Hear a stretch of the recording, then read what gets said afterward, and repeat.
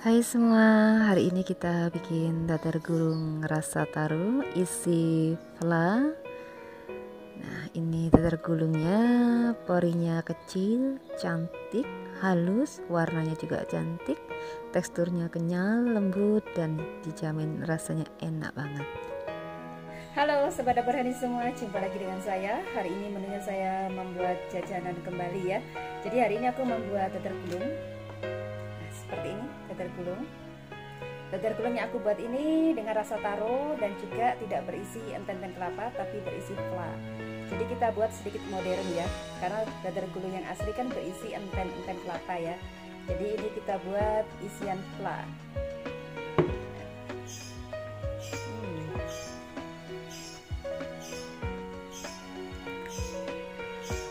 Hmm. ya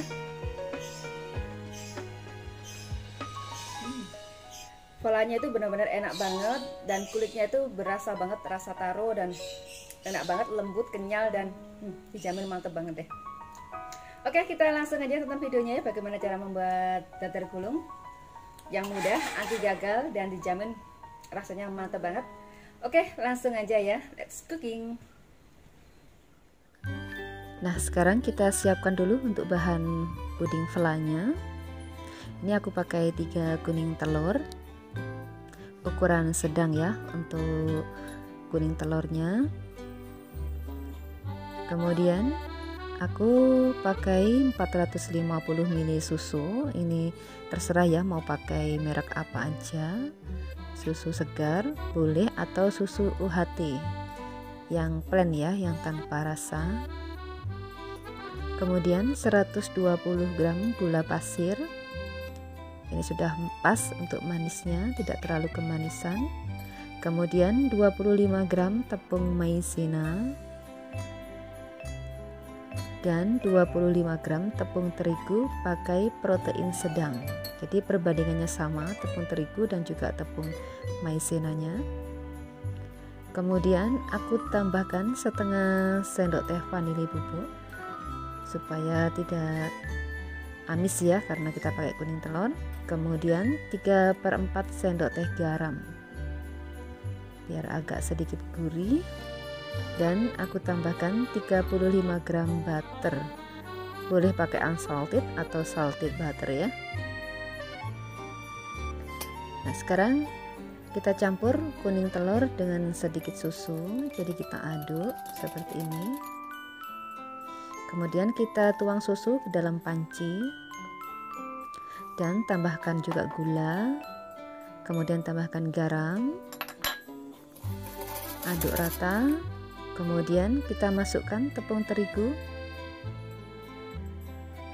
Kita aduk juga. Kemudian masukkan juga tepung maizena. Aduk rata. Kemudian tambahkan vanili bubuk.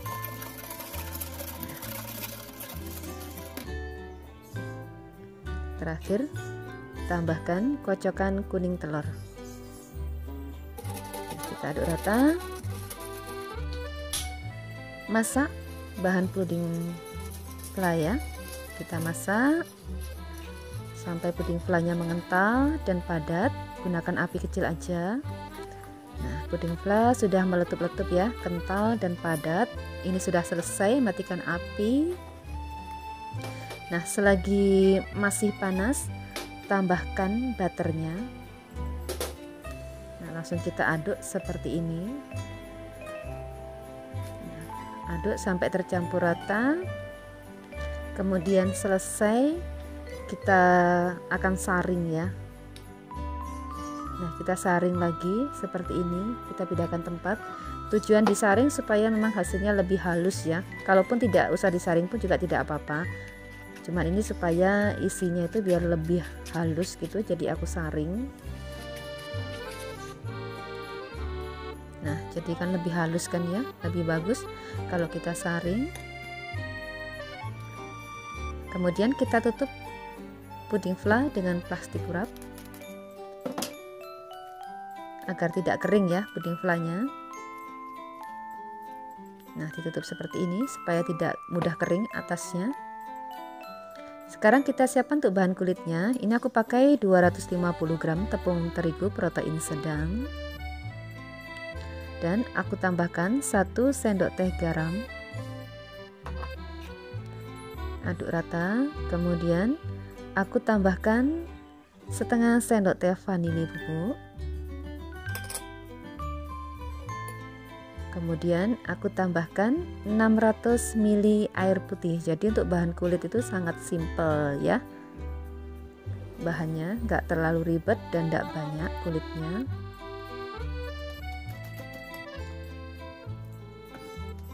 Kita aduk sampai tercampur rata dan sampai teksturnya halus. Kemudian tambahkan 1 sendok teh perisa taro karena kita akan mau menggunakan rasa taro jadi kita pakai perisa taro kalau punya taro bubuk boleh ditambahkan boleh dipakai taro bubuk ya. Kemudian kita saring adonan kulit agar halus supaya nanti saat dicetak itu tidak ada yang bergerindil. Karena biasanya kalau kita tidak saring tuh akan ada gerindilan kecil-kecil gitu ya. Jadi kita saring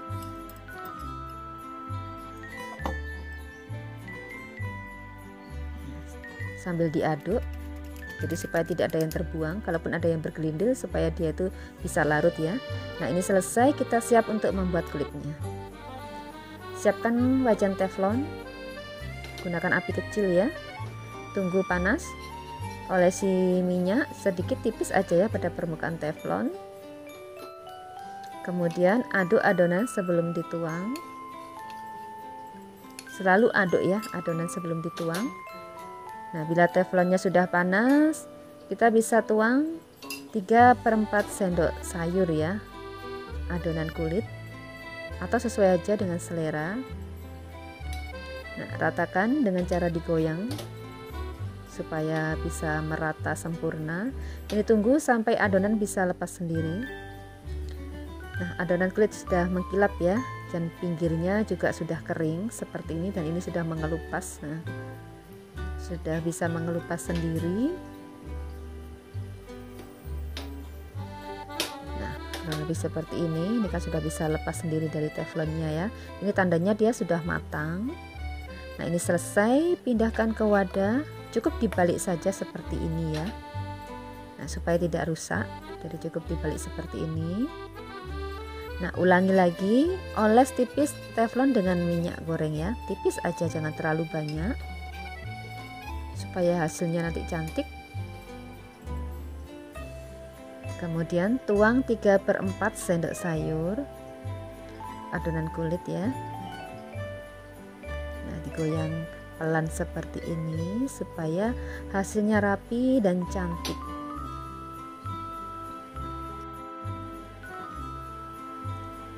Kita cek.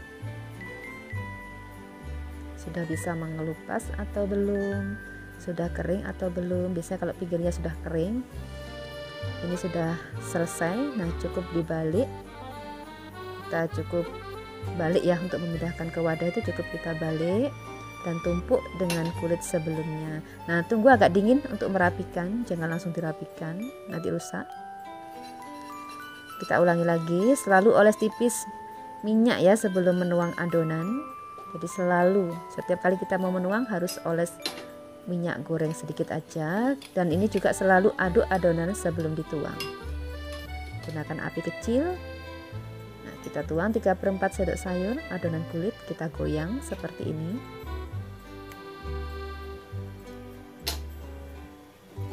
Nah saat menuang itu usahakan diangkat ya wajan teflonnya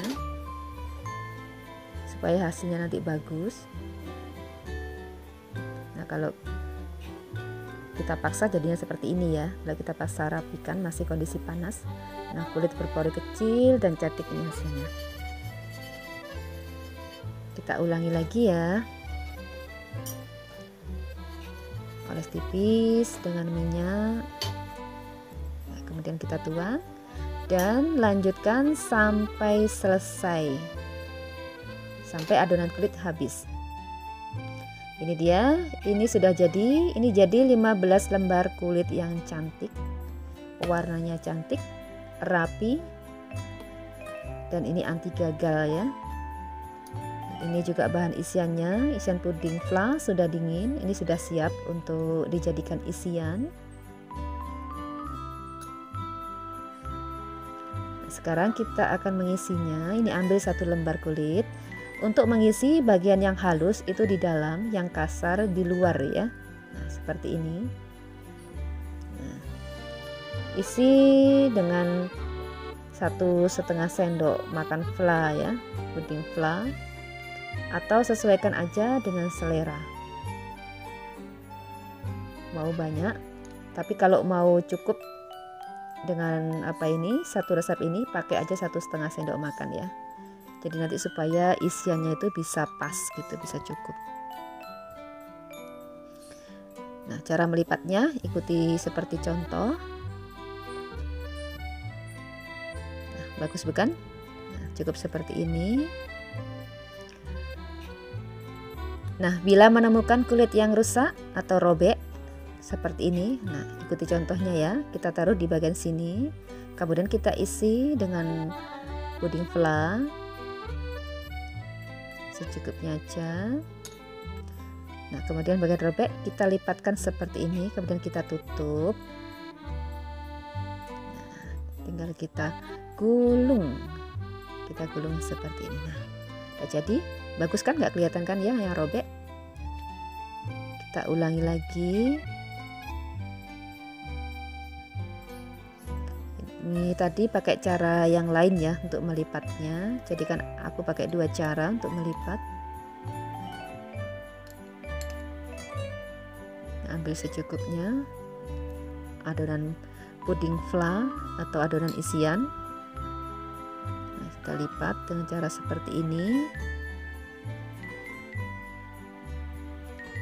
Nah oh ya ini aku sudah cuci tangan loh ya. Tanganku juga udah bersih jadi kalau yang mau pakai sarung tangan monggo ya. Ini kan aku mau makan sendiri ya. Ulangi lagi satu kali lagi.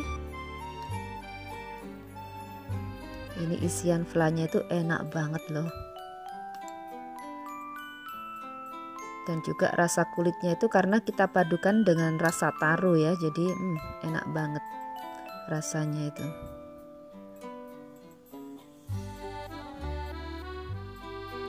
tinggal kita lipat seperti ini cukup mudah kok ya membuatnya. Nah udah cantik bukan? Nah ini dia. Kita akan coba untuk belah supaya nampak isiannya. Hmm, bagus bukan? Ini menarik banget. Bisa untuk ide jualan. Mungkin yang mau jualan. Warnanya cantik. Nah, lebih dekat cantik banget pori-porinya juga kecil halus bagus. Dan rasanya yang pasti enak ya lembut kenyal. Isian flanya juga hmm, enak banget dipadu dengan kulit yang berasa taro ini benar-benar cocok banget. Cocok banget untuk ide usaha ya mungkin yang mau jualan dadar gulung dengan rasa yang berbeda jadi tidak hanya isi enten dan kelapa aja jadi bisa dipadukan dengan fla.